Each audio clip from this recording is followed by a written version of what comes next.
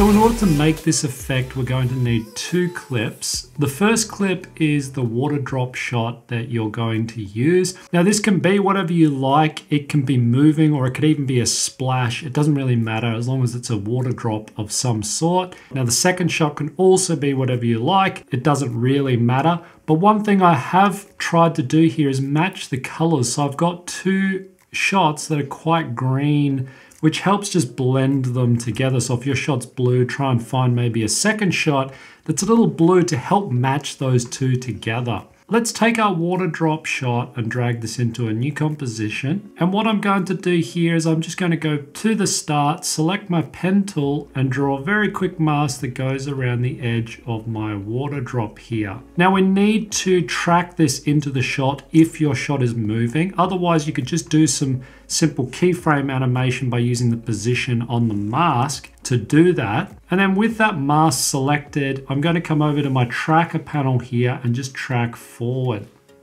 And this is just going to track that position of that mask over our water drop here. All right, so that's about long enough. We don't need it for the entire clip. I just need it for this first little bit here. Now I'm going to come down to the mask settings and I want to make this be subtract. And I'm also going to give this a very slight feather. And the great thing is I can control the size of that mask. I'm just going to drag this down a little bit, give it a bit more of an edge feather. So we have that mask drawn over the top of our bubble.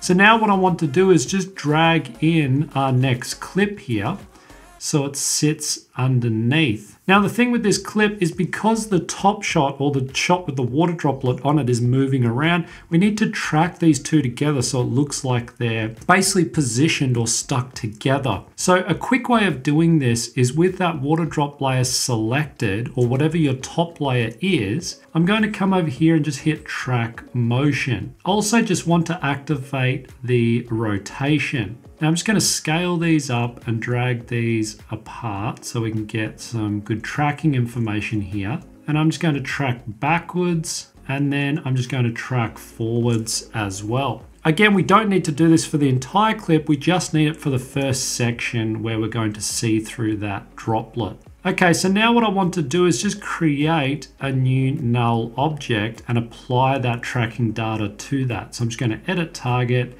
select my null, and then just hit apply. And when I hit apply, I want to apply the X and Y. Now back at the start here with that drone clip, what I'm going to do is now parent that to that null object and that should stick our video on our layer. Now you can see there's a little bit of movement on that background layer and that's because we need to freeze frame it before we start doing the zoom in. So one thing I'm going to do with my clip here is I'm just going to right click and I'm going to come over to reverse layer. Now the reason for that is because when the camera zooms through the bubble, I want the drone shot to be moving forward. So you only need to do that if your drone shot's say in reverse. And then what I'm going to do with this first bit selected here is I'm going to duplicate that layer and then I'm going to right click and go down to time and freeze frame.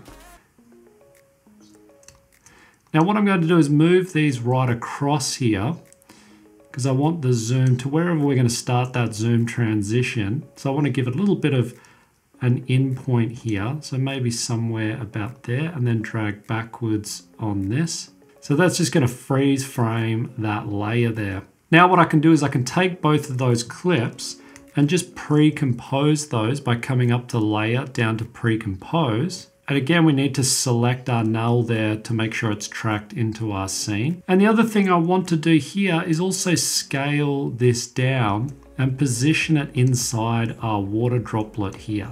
So I'm trying to position it roughly so it lines up nicely with our water drop here. So that looks pretty good. And then you can see where it starts. Okay, the next part is I want to control the zooming of this shot. So the way we can do this is create a new null object and I'm going to parent this null to that top null.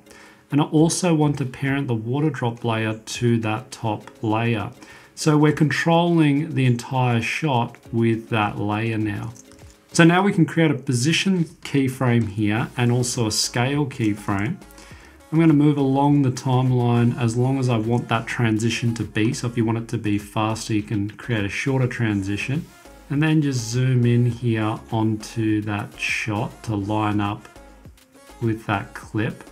And then to get rid of the water bubble, what we're going to do is I'm going to come down to my mask settings and I'm going to create an expansion mask keyframe here and another one here.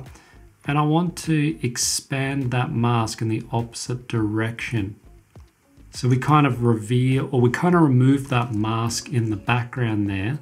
At the moment, that zoom is not very smooth. I want to smooth that entire transition out. I can select both of these, make these ones easy ease, and I'm also going to select these back ones and make them easy ease out. Then I can select the graph editor and we can start messing around with these to smooth out that transition. So we kind of zoom into it like that. The other thing is we still got a bit of that camera shake going on on that transition. So what I can do is I'm going to come back to this null, which is where we have all that tracking information. And I want to just delete the keyframes for where I want that camera shake to essentially stop. So at that transition point, we want to get rid of that camera shake. The other thing I can do is also control the speed of that transition by bringing this in. I'm also going to delete more of these keyframes back here and also come down to the mask expansion here. Drag this back, drag this forward slightly just to hide the edges of that transition. And the other thing we can do is also just move these two clips over very slightly here, just where the freeze frame is transitioning into our shot. So it's freeze frame through the first part and then it transitions nicely in here. Now another thing I did on my original composition was I also added a bit of distortion as the camera's flying through that bubble or that water drop and I also added a little bit of color correction. So I just right clicked and created a new adjustment layer and with that adjustment layer I came up to effect down to color correction and I added lumetri color and I made some adjustments by adding some faded film and some split toning. Now I dragged up on the faded film here just to give it less of a contrast look. And then with my shadows here, I gave it a little bit of green in the shadows and a little bit of yellowy green here for the highlights. Now you can adjust the intensity of that faded film look fit you on the keyboard, I can bring up those keyframes. And as it transitions through, I'm going to bring these back to zero and I'm going to reset the shadow and tint look back here to my original colors. So I reset this to make it match to my original shot here. So it transitions. You can see as I turn this on and off, just what it's doing there. It's just helping basically blend those two shots together. The other thing I did here was turn on motion blur for all of those layers so that we get some nice motion blur as it's transitioning through. And I can also bring in maybe these colors here, this color adjustment very slightly, because we want it to basically be on that transition point as it's transitioning through. So now we're ready to add that slight distortion effect for the bubble as the camera's sort of flying through that water drop. Now, there are a few different ways we can go about this, and I want to show you the way that I ended up doing it, and also another way of doing it as well.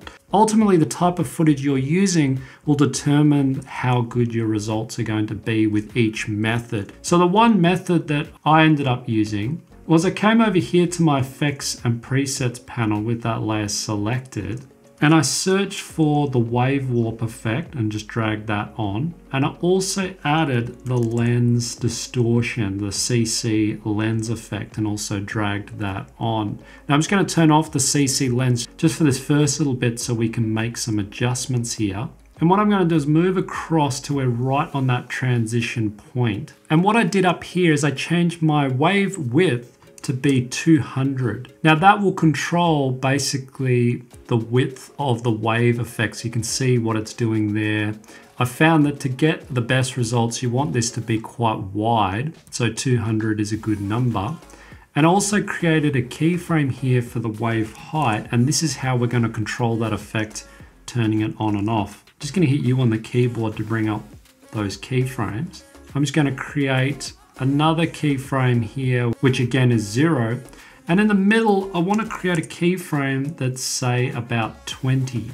Now you can see what that's doing here. It's adding this effect as it's transitioning through. Now I can readjust the position of these keyframes. I can also make them easy ease. And I can also scale this up or down depending on the look that I'm going for. Again, these numbers will depend on the resolution of your footage and it'll also depend on the type of footage you're using. What I'm also going to do is I'm going to turn on the lens distortion effect and I want to create keyframes that line up with this same effect that we were just working on.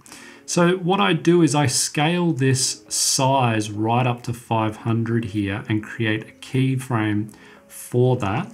Hit U to bring up those keyframes. And then for that middle keyframe, what we're going to do is drop this down to be about 200 and then scale this back up to 500 here at the end.